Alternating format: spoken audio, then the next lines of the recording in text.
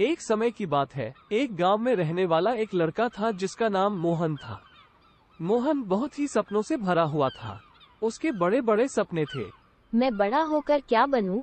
Teacher doctor या फिर engineer? वह सोचता रहता था और वह हमेशा उन्हें पूरा करने की कोशिश में लगा रहता था। एक दिन गाँव में एक बड़ी समस्या उत्पन्न हो गई। गाँव का पानी सब तरफ़ बह रहा था और लोग पानी से परेशान थे। लोगों ने इस समस्या का समाधान निकालने की कोशिश की लेकिन कुछ भी बदलाव नहीं आया। रोहन को ये बात पता चल गई। इस समस्या का हल निकालना होगा। मुझे गाँव वालों की मदद करनी होगी। चलो देखता हूँ मैं क्या कर सकता हूँ। मोहन गाँव वालों के साथ नदी के पास पहुँचा और देखा कि वहाँ बाँध बना हुआ है और वहाँ बाँध को देखते ही बोला इस बाँध को ठीक करना होगा। यहाँ सही बना हुआ नहीं है। इसकी ऊंचाई नदी से कम है। मोहन की बात सुनकर गाँव वाले भी सहमत हो गए। वहाँ एक गाँव का आदमी बोला कुछ करो मोहन हमें बताओ क्या हो सकता है। हाँ यहाँ बाँध को ठीक करने की आवश्यकता है। तुम लोगों को इसमें मदद करनी चाहिए।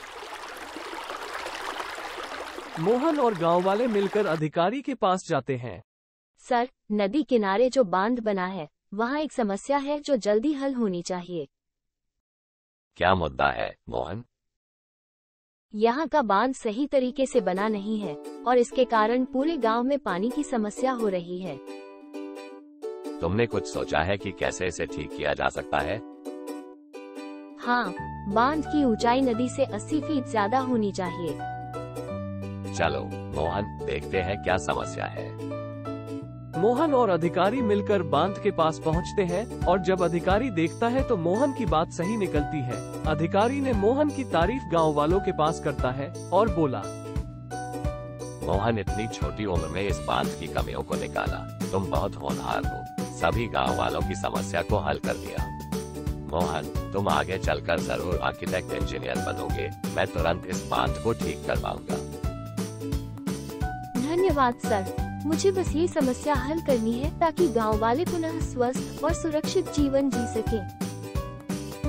इस तरह मोहन गाँव वालों का चहेता बन गया और उसने सोच लिया कि उसे आगे चलकर आर्किटेक्ट इंजीनियर बनना है। मोहन ने अपने इस सपने को आगे चलकर पूरा किया और अपने गाँव का नाम रोशन किया और गाँव का सुधार किया। बच्चों, इस कहानी से हमें ये सीख मिलती है कि हर समस्या का समाधान अच्छी सोच और बुद्धिमत्ता में छिपा होता है। जब हम समस्याओं को सही तरीके से देखते हैं तो हमें समाधान निकालने का रास्ता भी मिल जाता है। अगर आपको ये कहानी अच्छी लगी तो ज़्यादा से ज़्यादा शेयर करें, वीडियो को लाइक करें और कमेंट करें, और चैनल को सब्सक्राइब करें। धन्यवाद।